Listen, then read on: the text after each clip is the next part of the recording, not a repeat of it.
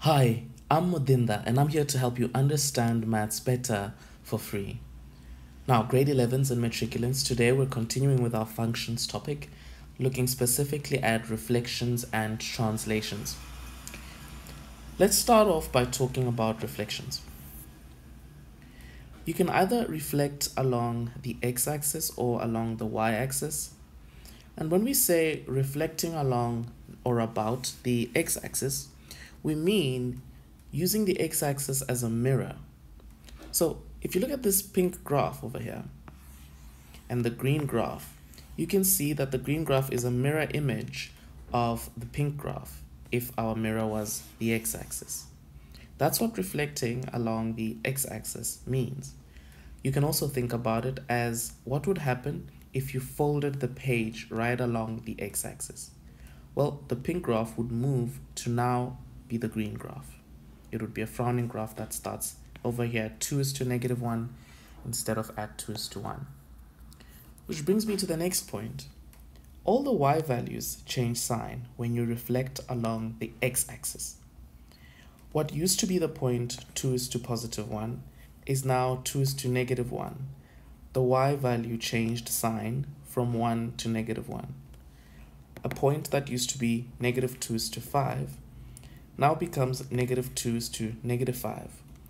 The y value changes sign when you reflect along the x-axis.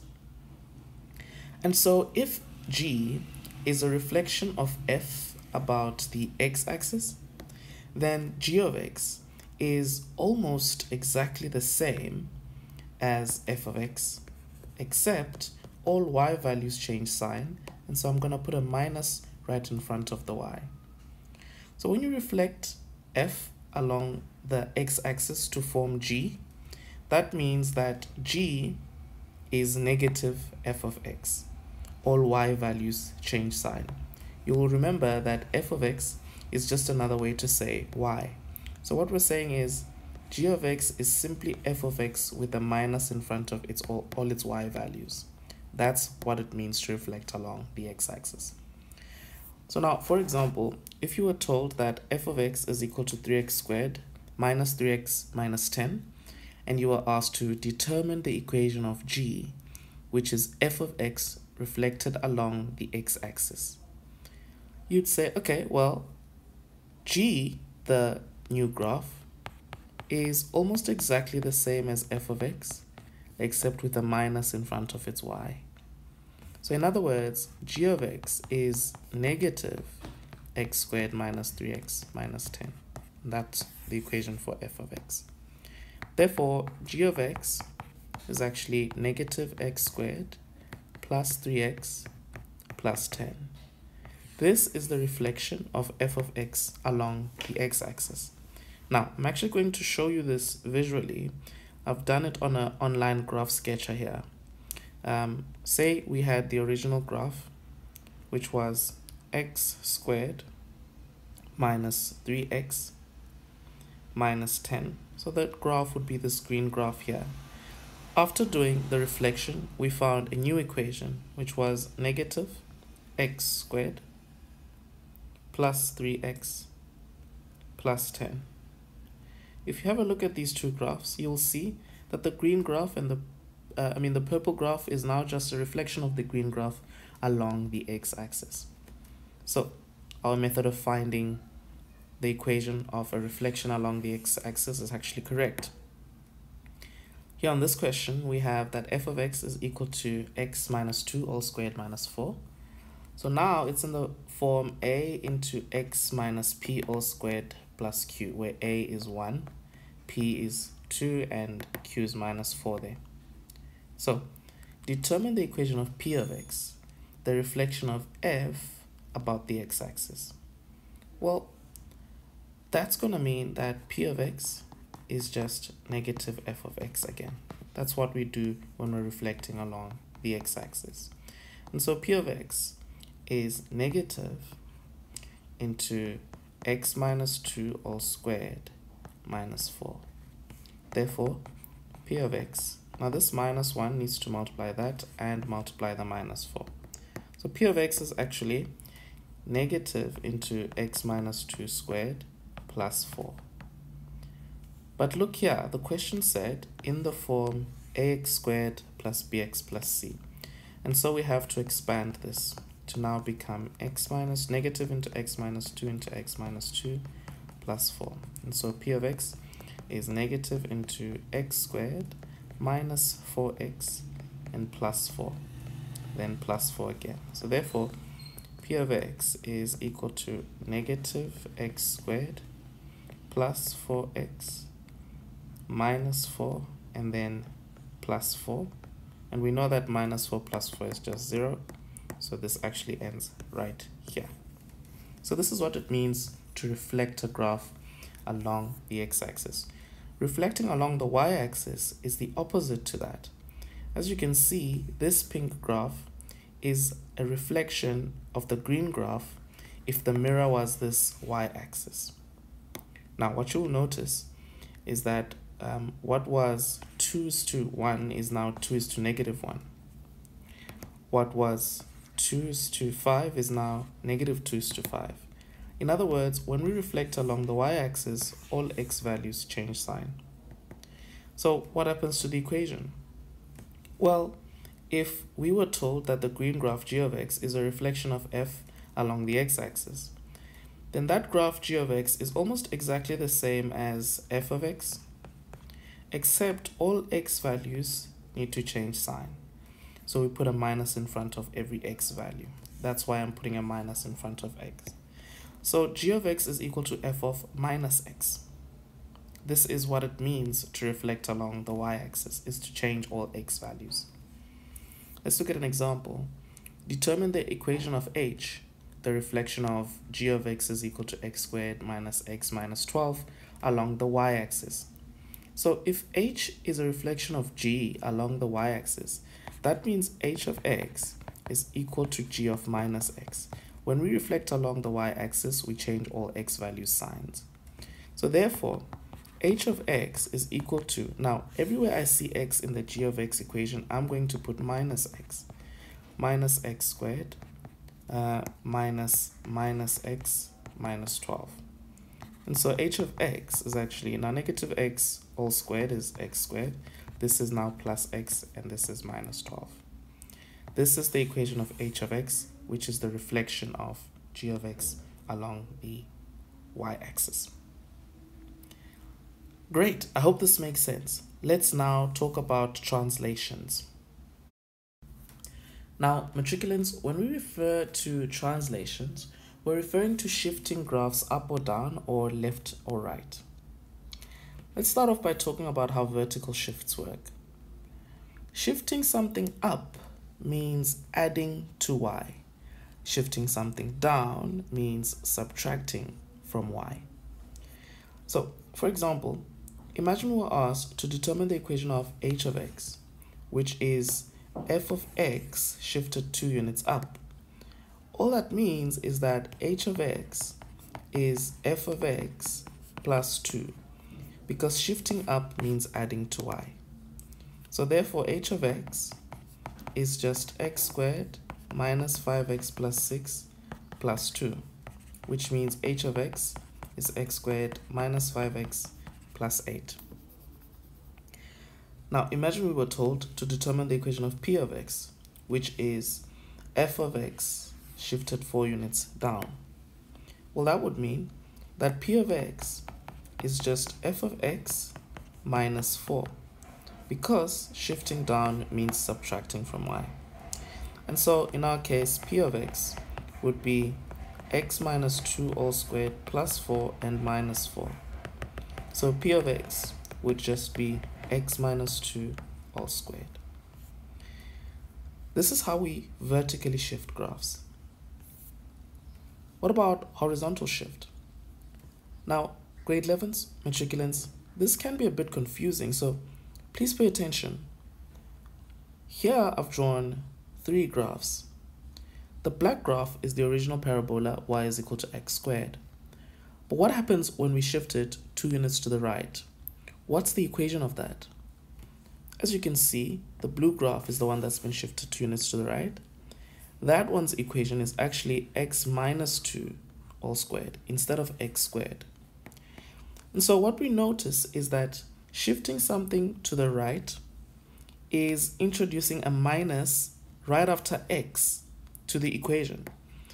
In other words, if you shift something to the right k units, that's like taking the original f of x and saying minus k in front of x. But shifting to the left means adding 2 to the equation. I know that it is a bit confusing because what you will notice immediately is that, well, now when you've shifted to the left, its turning point here is at minus 2, but for some reason the equation has a plus 2. Remember, when we extract the number p from the equation, we'll always flip its sign. This is the very first thing we said in our functions lesson. And so that's why we would see that visually it's a minus 2, but in here it's a plus 2. Let's look at some examples. If we had f of x is equal to x minus 2 squared plus 3, then determine p of x. If p is Firstly, f of x shifted 3 units to the left. You see, if p is f shifted, let me just move this text quickly to the other side. See, if we're being told that p is f shifted 3 units to the left, that means in front of x, we need to add 3. Because like we said, shifting to the left is a plus on the equation. So therefore, p of x, wherever I see x, I'm now going to put x plus 3. p of x is just x plus 3 minus 2 all squared plus 3. Meaning that therefore p of x is x plus 1 all squared plus 3. This is the equation of p of x, which is f of x shifted 3 units to the left. What if p of x was f of x shifted one unit to the right. Well then, p of x would be almost exactly the same as f of x, except we would subtract 1 because we shifted it one unit to the right, and a right shift is a minus on the equation. Okay, it's not a right shift. We can see it's a right shift um, and it moves it to the right to a positive 2 here. But on the equation, it makes it a minus 2. Okay, so in our case here, p of x is therefore just x minus 1 minus 2 all squared plus 3, meaning that the new equation p of x is x minus 3 all squared plus 3. This is the equation of p of x if p of x was f of x shifted one unit to the right. Now grade 11's matriculants, let's look at the following three examples. g of x is equal to x squared minus 3x minus 10. Determine the range of p of x, which is G reflected along the x-axis and shifted two units down. Feel free to pause the video and try the question out first. But note, this question is saying that the new graph P is G reflected along the x-axis and shifted two units down. Remember, what happens when we reflect something along the x-axis? all y values change sign. So the first step is putting minus in front of g of x. This is how we reflect along the x-axis. It then says the graph is then shifted two units down. So we must also subtract 2 from it.